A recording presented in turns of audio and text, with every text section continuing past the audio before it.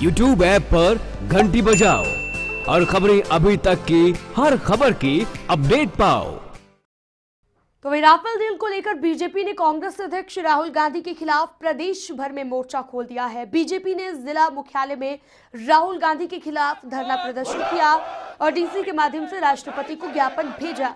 तो वही शिमला में बीजेपी के प्रदर्शन में पहुँचे प्रदेश अध्यक्ष सतपाल सत्ती ने कांग्रेस पर हमला बोलते हुए कहा कि कांग्रेस अध्यक्ष राहुल गांधी को देश की जनता से माफ़ी मांगनी चाहिए, क्योंकि उन्होंने देश की जनता को सुरक्षा से जुड़े मुद्दों को लेकर गुमराह किया है। उन्होंने कहा कि कोर्ट ने भी केंद्र सरकार के पक्ष में निर्णय दिया है, जबकि राहुल गांधी देश की जनता को पिछले छह महीने से गुमराह कर रहे हैं।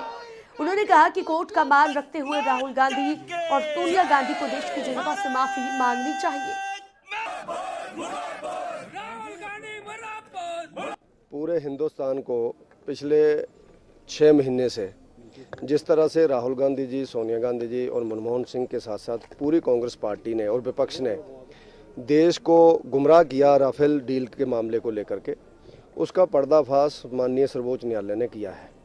राफेल डील, इनका कहना यह था कि उसमें पैसे खाए गए, अच्छे हेलीकॉप्टर नहीं लिए गए और हम सस्ता लेना चाहते थे, आप लोगों ने महँगे ले लिए। तो उस सब का जवाब जब सर्वोच्च न्यायालय ने मांगा तो गवर्नमेंट ने उसका जवाब दिया। तो सर्वोच्च न्यायालय ने तीनों बातों को ठीक माना कि ज़रूरत थी, इसलिए लिए गए। और कोई बीच में बचौलिया नहीं था, कोई डील नहीं हुई, इसलिए उसमें भी ठीक है। और जो लिए गए हैं, वो भी क्वालिटी के हिसाब से भी ठीक है। ऐसा करके जो उन्होंने गवर्नमेंट के जवाब को उन्होंने उच्चे ठहराया है।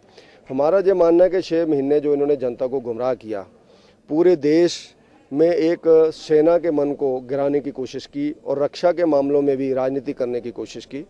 उसके कारण हम ये चाहते हैं कि सोनिया गांधी जी, राहुल गांधी जी, ये देश की जनता से माफ़ी मांगें।